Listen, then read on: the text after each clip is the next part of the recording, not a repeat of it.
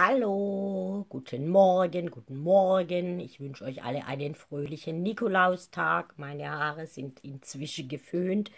Jetzt fehlt nur noch ein Licht. So, ich wünsche euch allen einen fröhlichen Nikolaustag. Jetzt muss ich das mal hier richtig einstellen. So, ich zeige euch mal, was ich mir so vorstelle unter einem Nikolaus-Make-up. Und zwar Nehmen wir die geliebte Palette 9. Das ist so ein wie ein Roséton, ganz leicht. Wir nehmen diese Reihe. So. Ich hoffe, ihr habt das Wochenende gut überstanden. Ich bin das dritte Mal geimpft worden. Zum Glück keine Nebenwirkungen. Wir nehmen das neue Setting Prime und Setting Spray. Bundle 9 gibt es zwar nicht mehr, aber hallo, das ist Manda, glaube ich, weiß nicht. So, wir machen Auge zu. Ich bin mir sicher, dass das bestimmt, weil das so gut laufe ist, dass das bestimmt in die Serie kommt. Auge zu. So, das lassen wir trocknen. Und wir nehmen heute das Sprüh-Make-up in Eyelet. So, wir lassen das trocknen. Schütteln so lang das Sprüh-Make-up.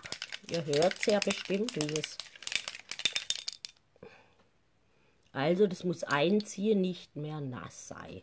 Immer so lange die Wimpern biege, weil es ist noch nicht eingezogen.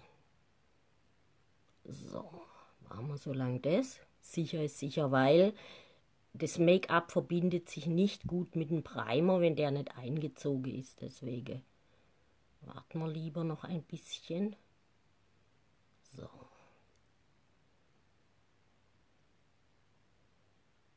So.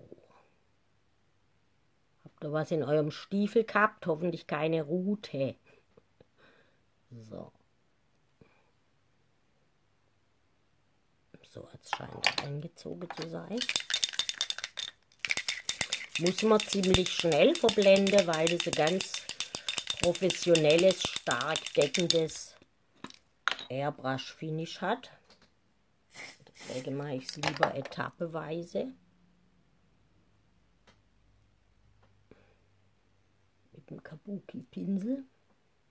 Ihr könnt euch das auch direkt ins Gesicht sprühen, aber ich weiß nicht, ob es dann ähm, zu dick ist und ihr macht alles schmutzig. Deswegen, ich mache es lieber etappeweise.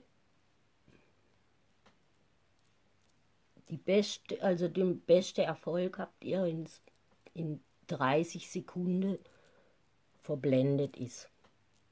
So. Das ist echt sehr stark deckend. Fühlt sich aber an auf der Haut wie sehr leicht, wie gar nichts. So. So, ich mag das auch speziell im Sommer, weil da will man ja nicht so dicke Foundation. So, wir machen Rouge. Rouge, finde ich, zaubert immer Frische ins Gesicht. So ein Rosaton oder Orange. Man sieht einfach frischer aus. So, wenn ich es bald hätte. So. So. Und dann nehme ich Sisterly. Das hat etwas einen Schimmer. Mag ich besonders. Und so ein runder Rougepinsel.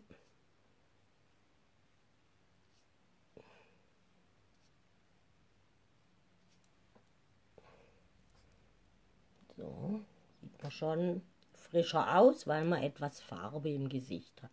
So. Augeprimer, bevor man Lidschatten auftrage. Der Lidschatten hält länger. Hallo, guten Morgen. Der Lidschatten hält länger und die Farbe kommt besser raus. Das reicht für beide Augen. Ihr braucht wirklich wenig von den Produkten, weil die einfach stark pigmentiert sind. So. So Finde jetzt total nett. Ein Mann, wo Guten Morgen sagt und nicht, was das soll, warum ich mich schmink und so Zeug. So. So. Das brauchen wir nachher. Wir machen auch mit diesem matte Bronzer ein bisschen Konturierung mit dem neuen Pinsel.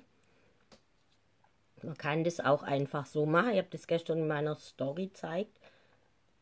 Einfach so ein Strich, wo man halt konturiert.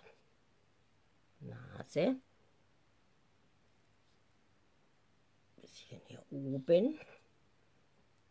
Das habe ich gesehen bei ihrer Kollegin und habe gedacht, eigentlich eine sehr tolle Methode, weil Bronzer tut ja auch Frische ins Gesicht und ihr könnt, nee, ich habe gerade gedacht, oh Gott, ich habe wo Falsches einen Strich.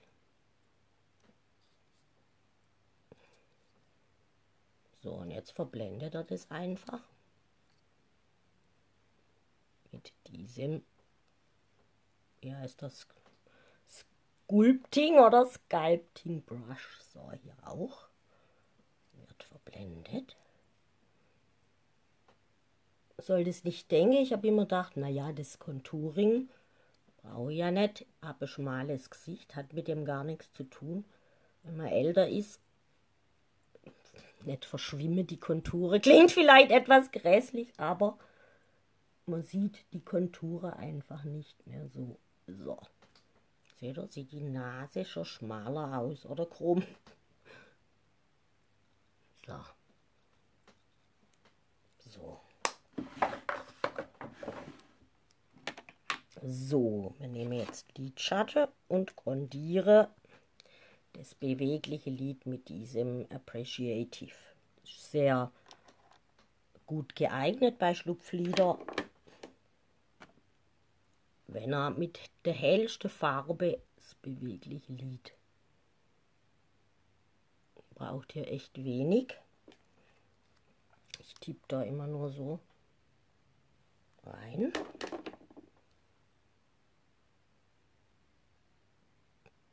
Mit dem Nikolaus Make-up, das ist einfach oft, weil mir morgens nichts einfällt. Ich weiß zwar, wie mich schminkt, aber wie nennt man das jetzt? Iris. Äh, Lieblingspalette oder und heute ist Nikolaustag, also ist das Make-up ja für den Nikolaustag. So. So. Jetzt haben wir so einen Roséton. Mit diesem, der ist matt, machen wir die Tiefe ins Auge also die Tiefe von der Schlupflider. Ihr seht ja, huch, man sieht gar nichts von meinen beweglichen Lieder. Nur wenn ich so mache, so kann ich ja nicht immer rumlaufen. Also nehme ich jetzt einen dunkleren Ton, einen matter Ton, lasse mein Auge so, markiere mir da die Stelle Halt einfach weiter, ey, wenn dir das genügt, ey, gut. So. So. Das machen wir mit diesem Roséton. Und du 56-Jährige brauchst. So. Mache dieses matt. So. So. Das verblenden wir.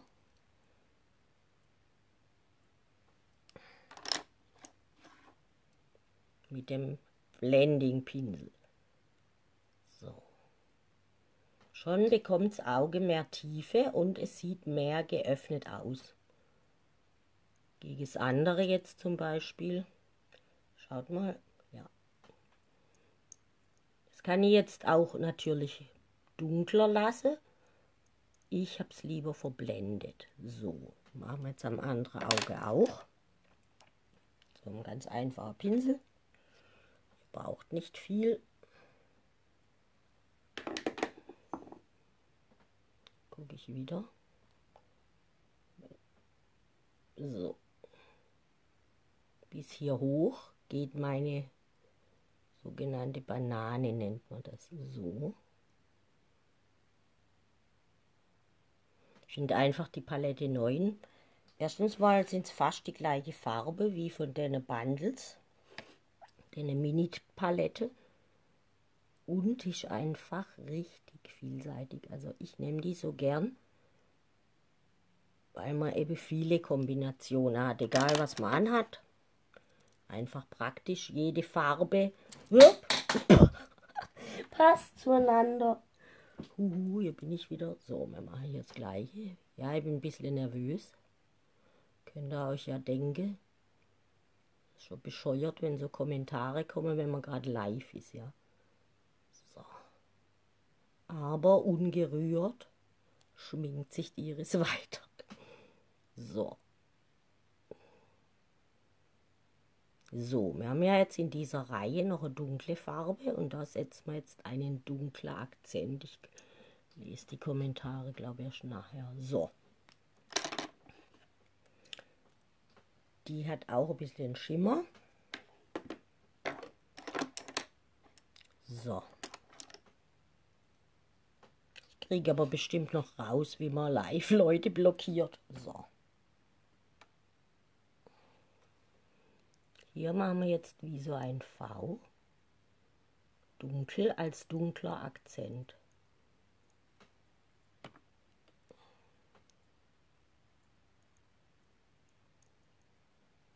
So, nur hier an der Seite, also an dem äußeren Augewinkel.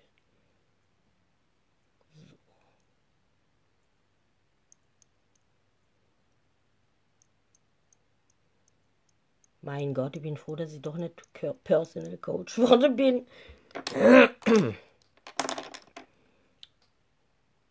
So.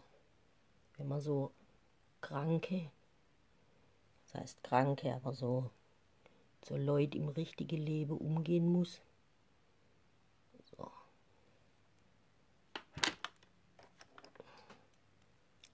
So. ist gleich, ja.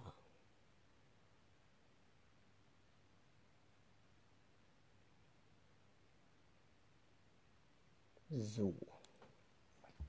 Und ich erzähle immer von meinem Business, diesmal auch, wenn ihr euch vorstellen könnt, Geld nebenher zu verdienen, ein zweites Standbein zu machen oder auch ein erstes, je nachdem, was er gerade macht dann fragt mich passives Einkommen und so und du kannst ganz einfach mit wenig Geld einsteigen. So, weißer Kajal. Wo ist der braune?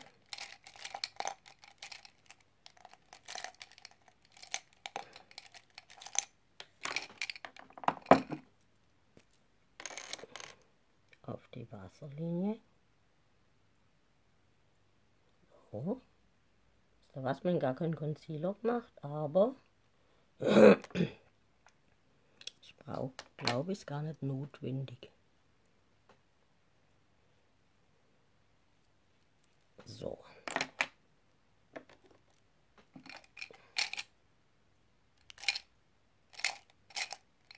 Hier ist er doch.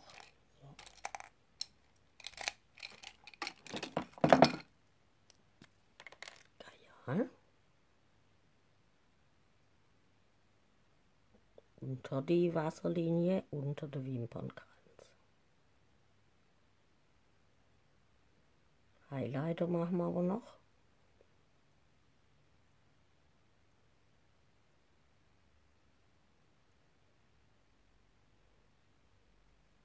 So. Und zwar diesen, Last Dress heißt der. Der ist so roségold.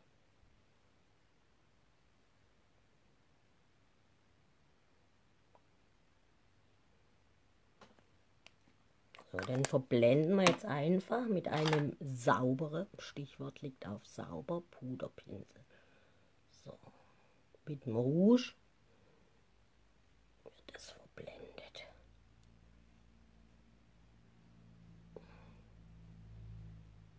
Lippenstift.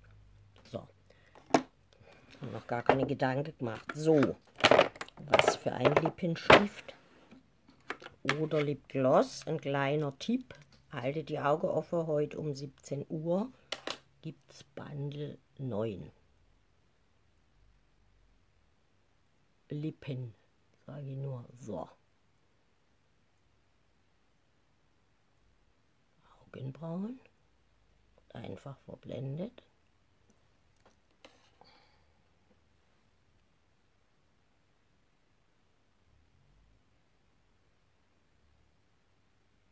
Kleine Striche. Jetzt habe ich den Nebel gemalt, aber das macht nichts.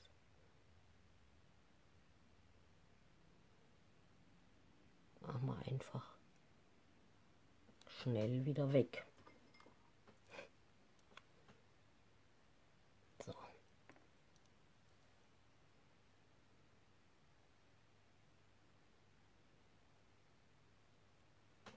So, verblenden. So. So, wir nehmen die 4D Mascara.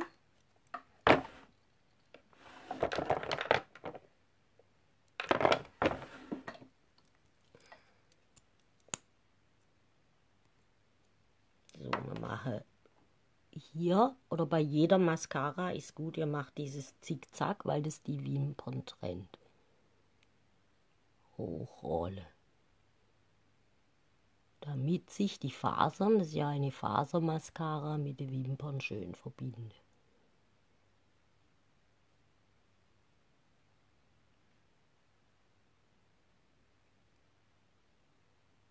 So, das, ihr könnt so viele Lagen machen, wie ihr wollt. Ich mache immer so drei. Lasse es aber zwischendrin trocknen. Und kämme es aus braucht ihr keine Angst haben, da gehen die Fasern nicht mit weg. So, während wir die erste Lage trocknen, machen wir den Highlighter. So.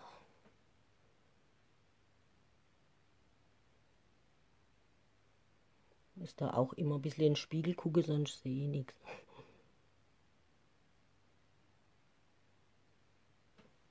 So die erste Lage und so lang machen wir jetzt Highlighter unter den Augenbrauen. So ein Pinsel, ich glaube das heißt Bleistiftpinsel, eignet sich sehr gut.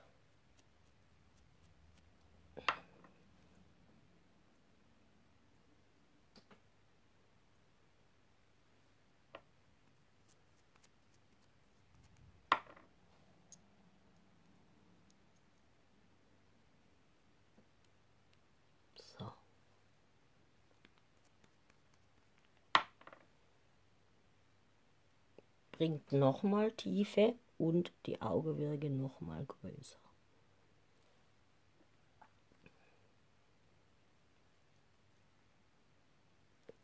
So, jetzt kämmen wir die erste Lage aus. Mascara.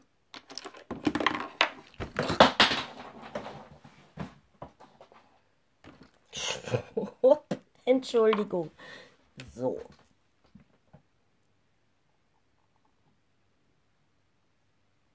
einfach mein Lieblingsmascara, weil die am meisten Ergebnis bringt. So. Mache die dritte, die zweite Lage.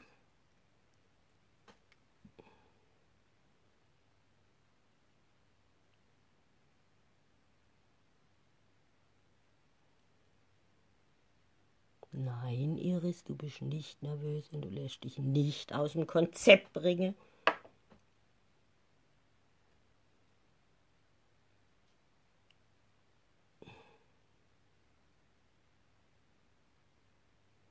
So. Selber ganz entzückt. Huch. Die kleinen Katzen schreien.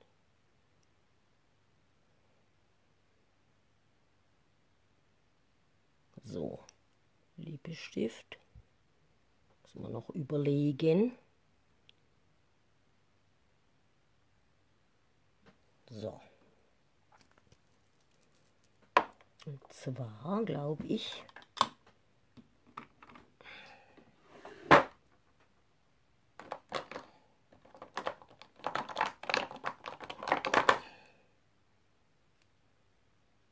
Nee.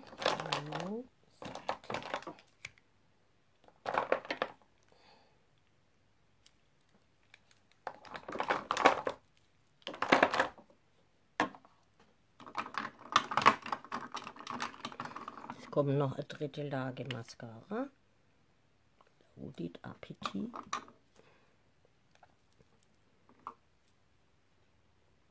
Jetzt gucken wir mal, ob der Easy Street nicht zu hell ist.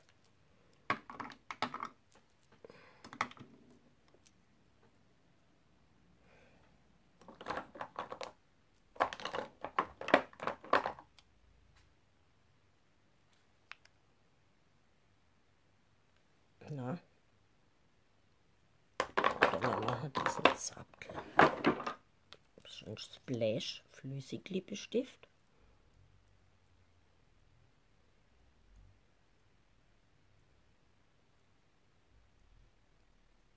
So eine tolle Nude-Farbe.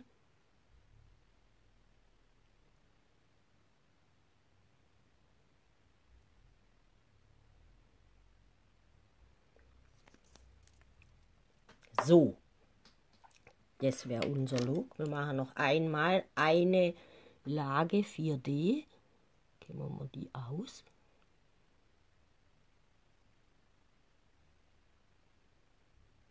So, zwar nur an der Spitze langsam öffnen.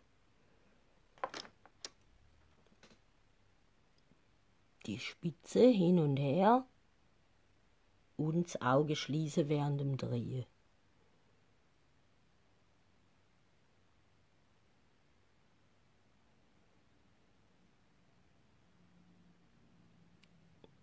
So, ja auch.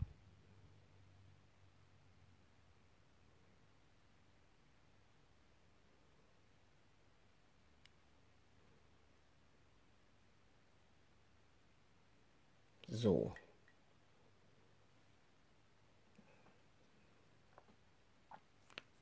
Und jetzt machen wir das Prime und Setting Spray als Setting Spray. Augen zu. So, meine Lieben. So. Hier war wieder eure Iris Riedel von Unique by Iris. Meine Haare sind jetzt leicht ähm, verwirrt, egal. Ich wünsche euch einen wunderschönen restlichen Nikolaustag, einen wunderschönen Montag und wir sehen uns am Mittwoch. Bis dahin, tschüss.